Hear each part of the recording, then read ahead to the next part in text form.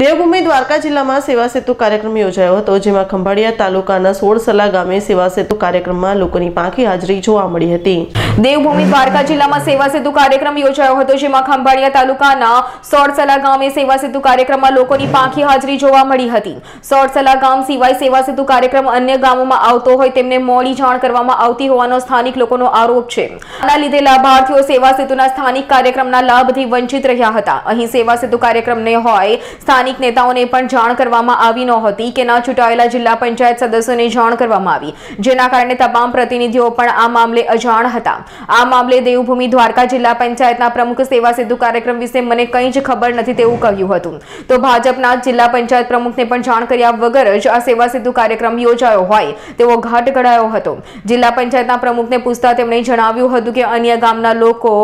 telephonic મને ફરિયાદ કરી હતી ત્યારે તેમણે આ મામલે જાણ થઈ હતી સ્થાનિક સરપંચ ગ્રામજનોને ચડાયેલા પ્રતિનિધિઓ પણ બેખબર રહેતા આ સેવા સેતુ જાણે માત્ર કાગળ પર રાખવામાં આવ્યો હોય તેવો ઘટ ગડાયો હતો સોડસલા આસપાસના 5 જેટલા ગામના લોકો આ સેવા સેતુ કાર્યક્રમના લાભોથી વંચિત રહ્યા હતા ધર્મેન્દ્ર ઉપાધેનો રિપોર્ટ દ્વારકા